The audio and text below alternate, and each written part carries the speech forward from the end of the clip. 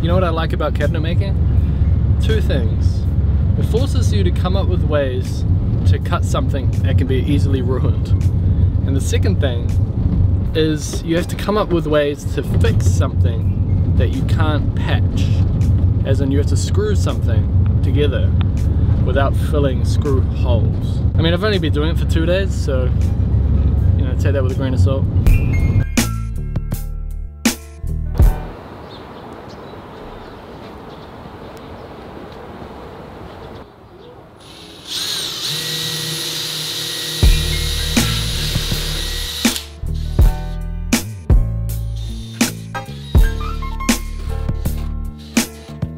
I've got to make another cabinet same size as this one. This one, uh, because it's got the sink in it, it doesn't have a middle partition, which uh, I want a middle partition. It'll be stronger that way. But there's another cabinet the same size as that one right next to it where I can put a middle partition. So if you look at this one, these go to the top of the rails. So this middle partition has to go to the top of the rails as well, which means we need to do a checkout.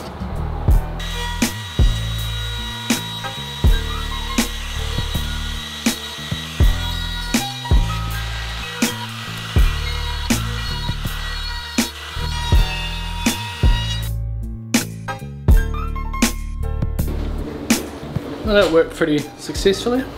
The router bit that I use is kind of 5mm wide cylinder.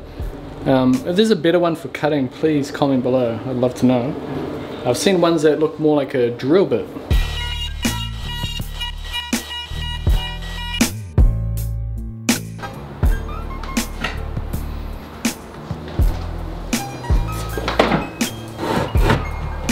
There we go.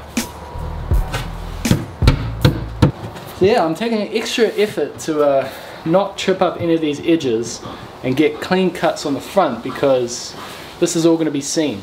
We're doing exposed plywood edges.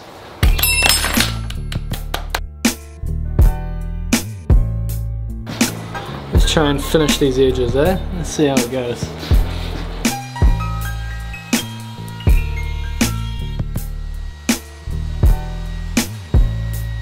See, there it is there. The issue is, it's going to show when you look at it like that. You know, that's going to be a dark grey and then you're going to have this light blonde wood colour. Let's dial it back a bit.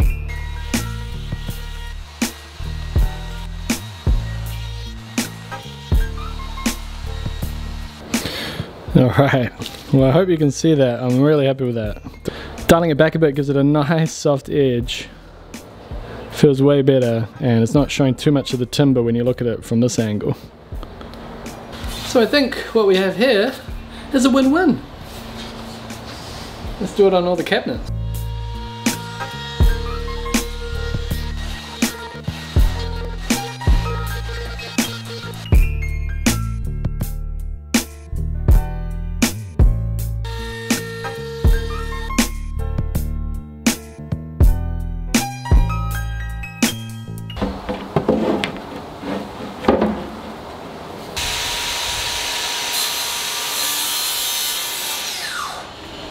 Do one experimental thing.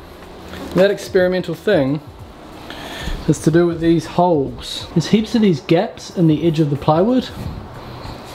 Some are worse than others. And some aren't so bad. Either way, we need to fill them. This is one of the oldest tricks in the book. Use the sawdust and use the glue getting the sawdust straight from the vacuum. It's not perfect because there's probably a bit of white in there as well, but it'll be fine.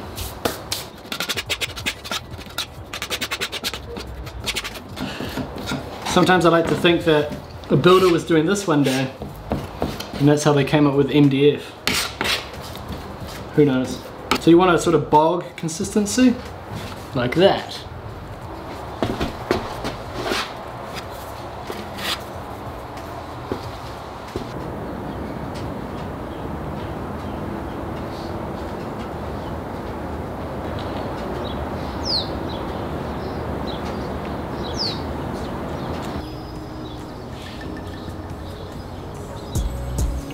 Alright, this glue and sawdust is dried up nicely.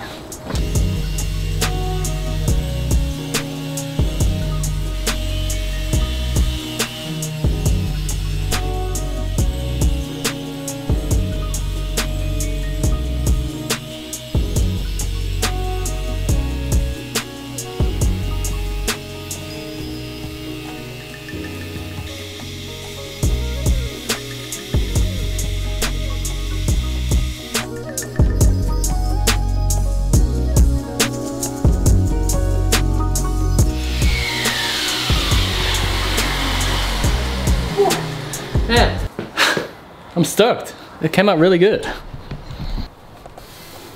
I mean, this is everywhere is looking like this.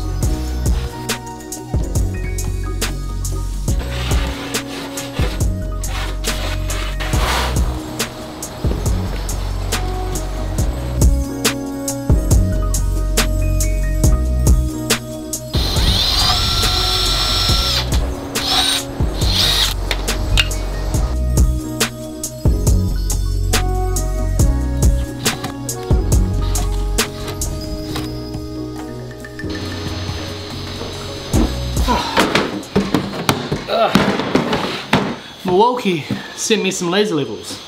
Far more than I need. Um, this one is a USB. Now this one is probably the one I'm going to use.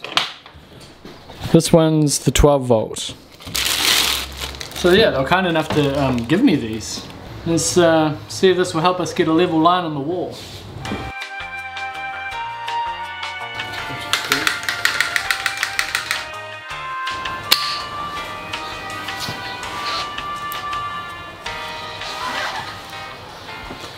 Alright. Well, it's locked. Do I go like that? That's level. Now let's get a mark.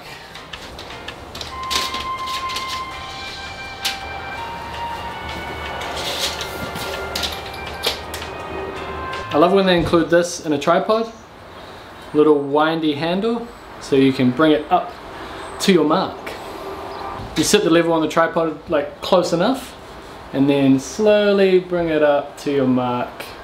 And this will illustrate why you don't actually need a laser level. I'm getting my level out anyway to put a straight line.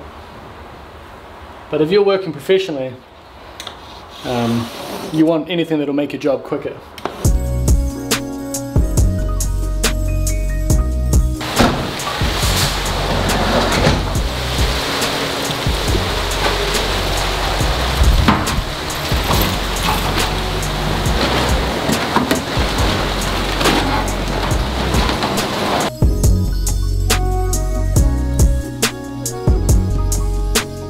As is to be expected, this concrete floor is all wonky. It's kind of dipping down that way towards where, I don't know if you remember, but the wall used to come out here. I built this new wall here. And going this way, it seems to be actually falling this way. Yeah, so it's falling this way and that way, but it doesn't matter because we've got adjustable legs on the cabinets. So that's it tight. So unscrew it a couple of times. Done that with all of them. Yep. And now I've got a bit of movement. See how we go. Yeah.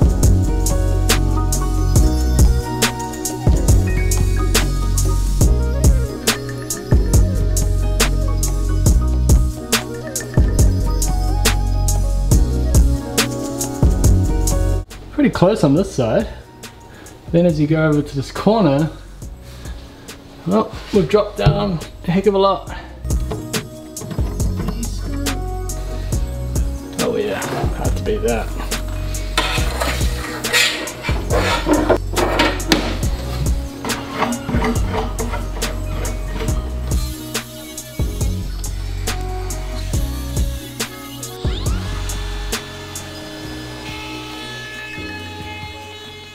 So this is the HPL. HPL is what we're using for all the doors. High pressure laminate is what it stands for. And already with this one cut that I've done, I can tell that it is a much better quality. So no filling necessary on this one. Just give it a quick sand.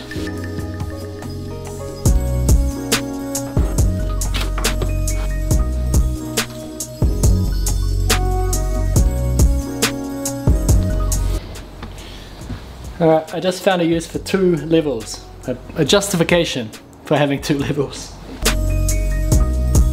I need a line here, but I also need that horizontal line that I was using over there. Here we go. Alright, so I need to move that over a little bit. Now I should have used the bigger Milwaukee for this line because it has this micro adjusting function. See this here? You go like that and it pivots. So that lets you adjust your line without having to pick the level up and shuffle it around. So it'd be good for this line, but hey, I've already got it set up.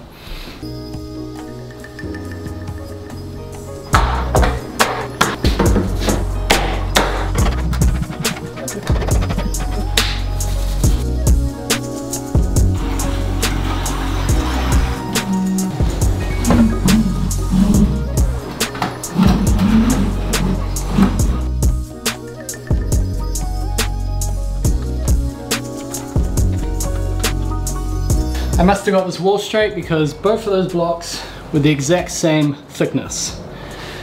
You gotta give yourself pats on the back when you're doing stuff that you don't know how to do. Now before I jump up and do those top cabinets, I've got to strengthen this up here. Because if you notice there's no middle partition on this cabinet. You know, like that one. And like I said earlier, that's because of the sink. Sink's gonna go there, I need all the space for the sink. So I'm gonna do something else to beef it up.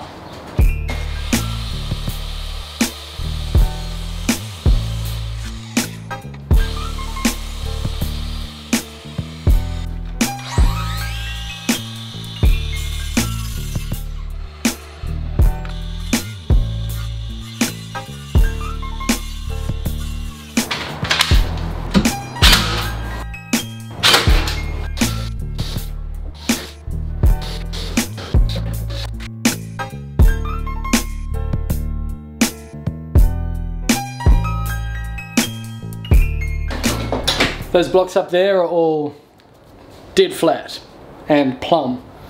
So when I put the cabinets up there, I'm just pushing hard against something that's absolutely perfect. The wall's really straight, but um, plasterboard, you know, things move in and out.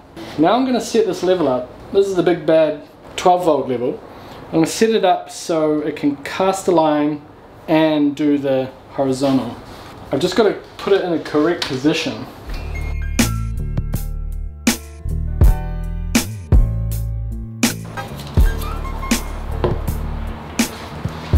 Alright, we've got the horizontal good, vertical not so good.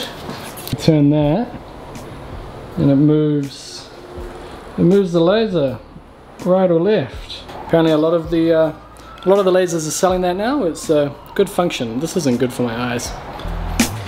Now in an effort to uh, do this on my own, I have some assistance. This is uh, highly experimental. Don't know if it's going to work. That shouldn't be a reason not to try, it, right?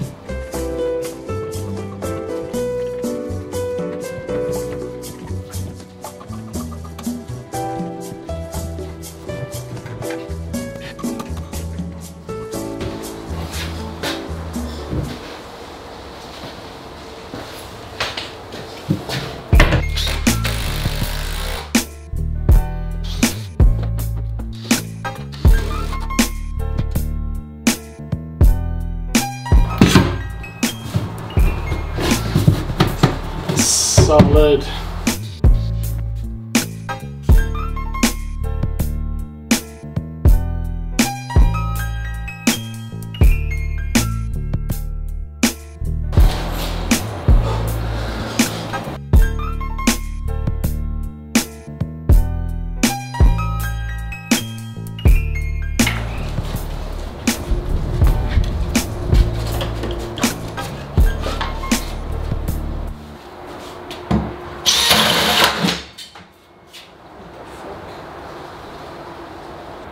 While since I've done something like that.